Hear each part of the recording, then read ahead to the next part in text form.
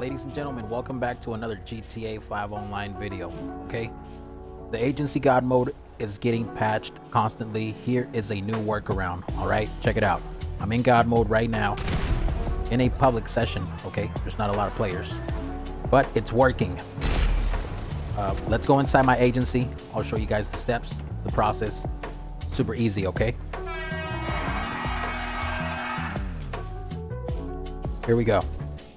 Loading into our agency. Run up to this desk. Anything I can do for you, boss?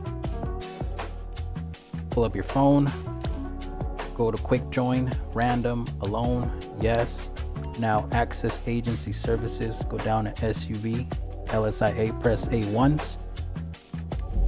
Press A, spam BA. BA, BA, BA, guys.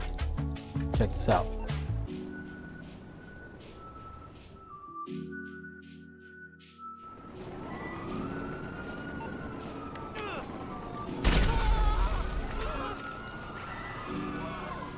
Okay, so there you have it. One more time, check it out, guys. Every time I do this glitch, my duffel bag disappears.